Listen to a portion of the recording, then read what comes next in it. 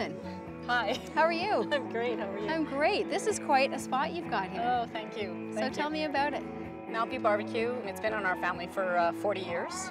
It was my mother's business, and we do group business. So we do incentive travel and um, associations, and we do a few weddings. But really, our focus is if a group is staying at one of the larger hotels in Banff, they come out for an evening of Western entertainment, and it's typically a four-hour evening where we wine and dine them.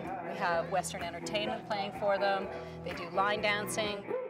And I hear the food is pretty spectacular. Yes, we're de- definitely noted for our beef. Um, we serve Alberta hip beef. Um, we age our beef, and um, it's a 55 pound hip that we do in our barbecue ovens, and, and we actually bring it in on a pitchfork because it's a it's the easiest way to carry it, but it's also people love it and they take pictures, and it's all about that as well. It's presentation, and and you know it's Alberta beef, so it's the best. We also do. Um, like we do barbecue chicken and we do baked salmon and we do vegetarian options and we so we sort of have a base meal and then we have a lot of options to a la carte into the meal for different groups so it works really good and we do that as well um, with entertainment we always have a band playing but then we also have um, different entertainment options and one of them is the calgary fiddlers so they're a group of young kids and then we also have native dancers that will do hoop dances and different things like that so it's more of a cultural experience so Right. if it's a really international conference, then people have sort of the true Canadian feel.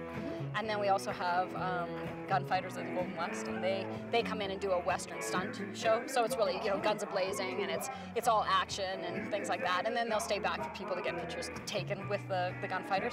People have a really good time. Now I wanted to ask you because I was reading about the space and you call it the donut tent. Yes. And what's with you know because obviously it has nothing to do with donuts. No, nothing to do with donuts. No, um, basically what it is is it's a round building with a large bonfire in the center. The whole precedence of that is the fire is ambiance, but it's also warmth because we do a lot of winter events as well. Sometimes when you walk into a round building with a fire in the middle of the room, it just changes the atmosphere. It takes them out of one of the meeting rooms in the hotel. You know, you give them a beer or a drink and, and with the fire, and they just relax immediately, and the whole evening just takes place, and it just it just runs so smoothly. So obviously the donut has to do with the shape, not with the food. Exactly.